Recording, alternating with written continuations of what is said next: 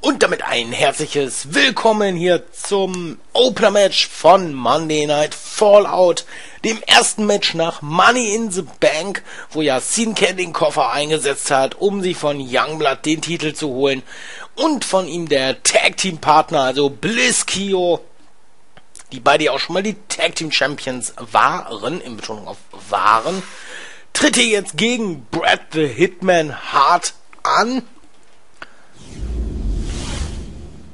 Ja, Bliskio möchte dieses Match natürlich gewinnen und fängt direkt mal mit einem Spear an. Und diese Tücher da hinten mit dem Logo, die sehen ja mal voll weird aus. Naja. Ja, ich habe die Arena ein bisschen vergrößert. Aber was, vielleicht ändere ich sie nach dem SummerSlam nochmal um. Also noch ein Tucken größer. Und dann Konter von Bliskio gegen Bretter Hartemann. Wie ja Santino Marella immer sagt, Brette ist Hartmann. Und ein Whip-In.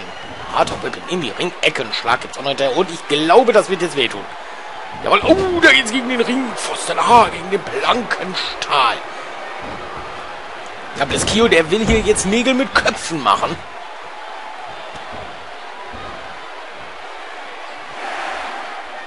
Aber er fängt sich einen Backdrop.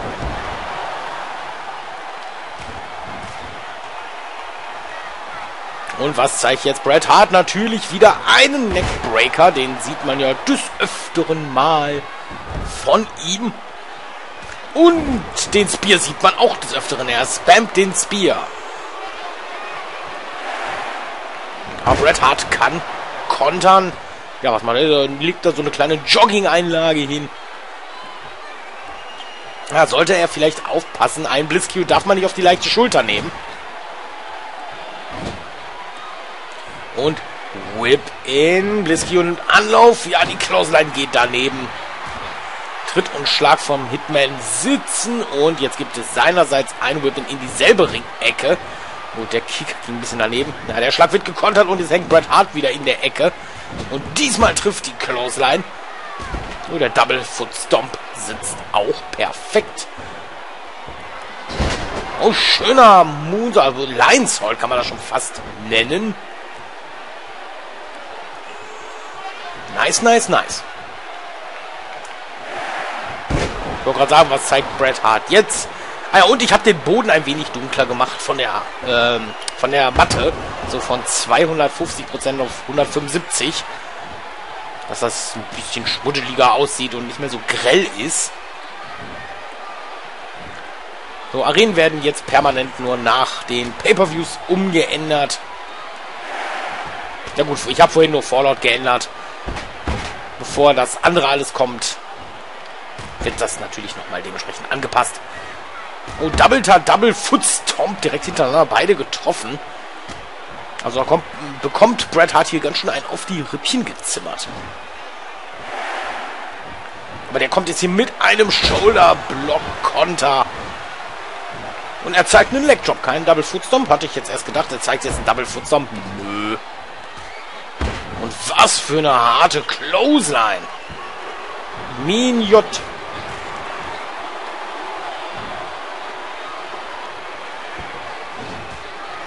Oh, es geht jetzt ganz gut hin und her.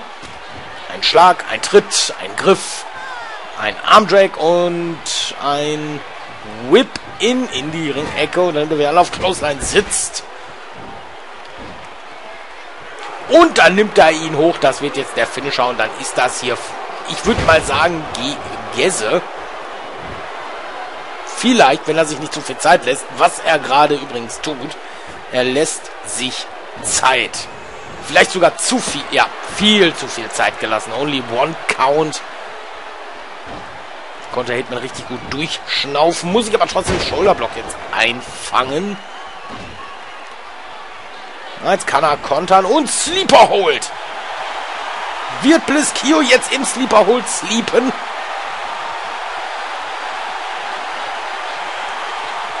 Nein, er kontert mit einem Stunner. Und Bliskio geht nach draußen. Er will wahrscheinlich jetzt fliegen und jupp, 450 Splash, aber voll ins Leere. Oh, da hat jetzt Bret Hart einen an die Rübe gekriegt. Und Spear, aber was für einer. Das war ja schon kein Spear mehr, das war ja schon Gore. Gar keine Zeit verschwendet, direkt das Cover. Bringt aber nicht den Sieg. Only two count, nicht only one count. Und da gibt es einen typischen Neckbreaker vom Brettese Hartemann. Ja, Whip-In wird gekontert. Reversal und wunderbar. Und er probiert es jetzt wahrscheinlich nochmal mit dem 450 Splash und der sitzt. Ja, jetzt zieht er in die Ringmitte. Jetzt will er wahrscheinlich das Cover anbringen. Jawohl. Na, auch nur wieder ein Two-Count. Bret Hart hat bisher noch gar kein Cover angebracht. Aber der wird jetzt erstmal rausgepfeffert. Und das gibt oh, einen Backdrop auf den Apron.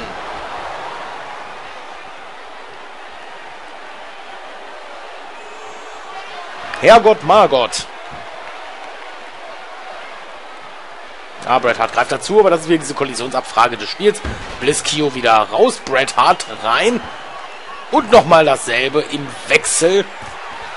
Im Wechselbad der Gefühle. Oh, Suplex wird gekontert und Blisskio mit dem Snap Suplex. Hätte er ein Vertical gezeigt, wäre Bret Hart wahrscheinlich auf die Ringtreppe geknallt und das hätte richtig Aua Aua gemacht. Und Tilworth Backbreaker, ich habe schon gefragt, den hat er noch gar nicht gezeigt in diesem Match. Bis anno dazu, jetzt. Nicht schlecht, nicht schlecht. Ah, ich dachte, da kommt jetzt ein Konter. Ja, jetzt sollten die beiden ihren Hintern ganz schleunigst wieder in den Ring bewegen. Der Ref ist, glaube ich, schon bei 6 oder so. Oder war sogar schon bei 7. Ja, Face first. Direkt Cover hinterher. Ja, ich wollte schon mal sagen, wäre das jetzt die Entscheidung gewesen, hätte ich mich aber tot gelacht. Ja, die beiden umkreisen sich wie zwei kämpfende Hähne. Und Belly to Belly. Ja, Bliskio, glaube ich, will es zu Ende bringen. Der will hier ein Cover durchkriegen, also bis drei. Nein, Bret Hart kommt wieder raus. Oh, da taumelt er. Und Trouble in Paradise. Reicht das jetzt oder kommt bei Bret Hart wieder raus, weil er sich zu viel Zeit lässt? Und weil er das Bein nicht einhakt. Dropkick. Was sehen wir von Bret Hart? Gar nichts. Er fängt den Snap mehr ein. Also ich muss sagen, Blitzkio, der übernimmt hier gerade mal so die Kontrolle. Einroller. Nein. Da kommt er gerade noch so raus. Also wäre das jetzt die Entscheidung gewesen, dann hätte ich gesagt, Surprised. Surprise Victory. Ja, Mr. Dropkick sitzt und das Knie auch. Und das Publikum jubelt. Und Konter Suplex von Bliskio. Ja, macht das Zeichen. Er will jetzt endgültig hier finito machen. Bret Hart, oh, der... Na, rennen sie beide gegeneinander. Er wird wahrscheinlich den Gore zeigen. Oder seinen Super Spear oder wie er es jetzt auch immer nennen will. Na gut, solange er nicht wie Roman Reigns erstmal so fünfmal durchs Ringseil rennt. Oh, da stand Bret Hart aber auch schon wieder. Snapmare mit Elbow in den Nacken. Das tut natürlich auch weh. Und ich glaube, er will diesen Sharpshooter an. Nein, er zeigt einfach nur ein Cover. Das erste. Bringt aber nicht die Entscheidung. Ja, vielleicht soll das doch lieber mit seinem Sharpshooter probieren. Jetzt probiert es Blitzkio einfach nochmal. Nein, Two Count. Also die beiden, die hauen sich hier richtig schön lang auf lange auf die Mütze, weil das Match geht jetzt schon äh, normalerweise, normalerweise sind die Matches immer so 5, 6 Minuten lang. Das hier jetzt schon neu, über 9 Minuten. Ja, über den Daumen gepeilt. Also die beiden geben sich hier sehr, sehr gut die Klinke in die Hand. Und oh, sehr schöner Belly to Belly. Also Respekt, Hitman. Und jetzt kommt der Sharpshooter. Und jetzt ist die Frage, wird Bliskio aufgeben oder kommt er noch zum Ringseil? Nein, er tappt Bret Hart siegreich gegen Bliss Kio. Hat mich eigentlich überrascht. Also Bliss Kio hat definitiv in diesem Match die bessere Figur gemacht. Aber gut, das Endergebnis zählt. Ja, er jubelt. Und wir kommen zum nächsten Match.